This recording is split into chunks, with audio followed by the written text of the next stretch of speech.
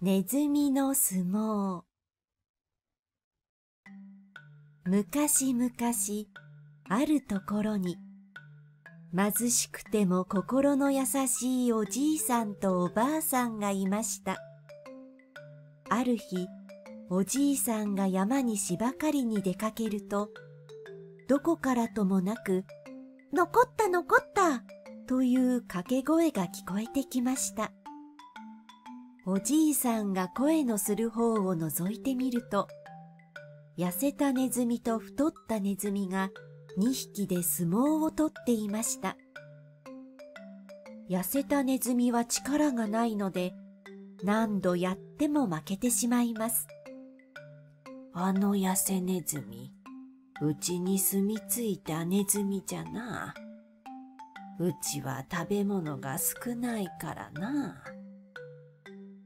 おじいさんは家に帰るとおばあさんにネズミの相撲のことを話しました。どうにかあの痩せネズミが勝つ方法はないものかね。そうですね。では、力がつくように、お餅を食べさせてやるのはどうでしょう。そりゃいい考えだ。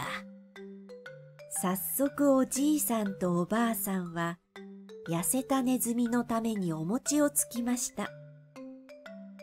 ほかほかお餅が出来上がると、ほれ、痩せネズミ、これでも食べて力をつけなさい。と、おじいさんは痩せたネズミの住んでいる穴へ入れてやりました。次の朝、いつもの通りにネズミたちは相撲を取り始めました。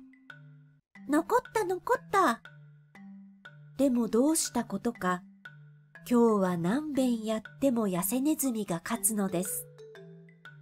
太っちょネズミは首をかしげました。一体どうしてそんなに強くなったのさ。すると痩せネズミは得意げに言いました。お餅を食べたのさ。おじいさんとおばあさんが僕のためにお餅をついてくれたんだ。お餅なんて羨ましいな。僕が住んでいる家はお金持ちだけど、僕のためにお餅なんてついてくれないよ。それならうちに来て一緒にお餅を食べようよ。いいのかい？ありがとう。そんなネズミたちの話を聞いていたおじいさんは、急いで家に帰ると、おばあさんと一緒に2匹分のお餅をついてやりました。お皿の上に山盛りに積んだ月お餅と一緒に、おばあさんはネズミたちのために、お相撲さんがつける回しを縫ってあげました。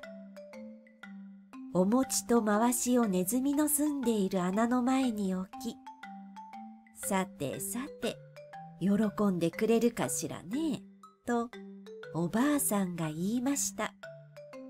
そこへネズミたちが帰ってきました。美味しそうなお餅と格好のいい回しを見つけると、2匹は大喜びです。わーい、すごい。お餅は美味しいし、回しはぴったりだ。とても喜んだ太ったネズミは、次の日、お礼にたくさんの小判を持ってきました。その小判のおかげで、貧しかったおじいさんとおばあさんはお金持ちになりました。心の優しいおじいさんとおばあさんは、それからも変わらず、ネズミの相撲を見ながら幸せに暮らしましたとさ。おしまい。お話は面白かったぶ？チューブとお友達になってくれたら絵本のプレゼントとかお知らせを送る分動画の説明欄からお友達になってぶ？これからも楽しい絵本をたくさん作るから。グッドボタンとチャンネル登録もよろしくぶ